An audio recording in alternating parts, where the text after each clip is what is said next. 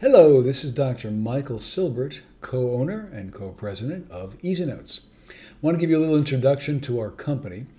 Uh, basically, EZNotes was started in 2002 when Dr. Russ Magdalo uh, joined the practice that I had downtown, noticed that I was dictating my notes and thought there must be an easier way to do this. And so for the next two years, we beta tested the program to make sure that it was very chiropractic friendly and very easy to use, hence the name EZNotes. Uh, we decided to use a business model where the doctor would own the software, not renting it. Renting it is called an SaaS, software as a service. And there are a lot of companies that do that, but we found that for chiropractors, it might just be easier and cheaper if they owned it and only had to pay a yearly technical support fee, and that's what we do. Um, the price of the software at the moment is $2,000. One could spread the payments out if they want, uh, 500 a month for four months, 250 a month for eight months, and we throw on a $50 finance fee. And then our technical support is $300 a year.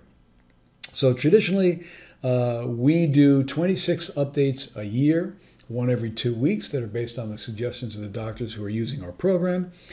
and uh, they do auto uh, updating. So as soon as EZNotes is turned on, it checks to see if an update has been released, and if it has, it installs the update for you. Uh, traditionally, we have a 60-day money-back guarantee, so that uh, if the uh, office uses it for a while and find that it's not for them, they just tell me, and they get their money back. Uh, you'll notice on the screen where I'm sitting that we have 21 buttons. There are traditionally six notes that EZNotes does. When a new patient presents to the office, we would do a new patient consultation. Uh, if we decide that that's an appropriate patient to uh, work with, then we would do some kind of an exam, which is obviously orthopedic and neuro neurological examinations.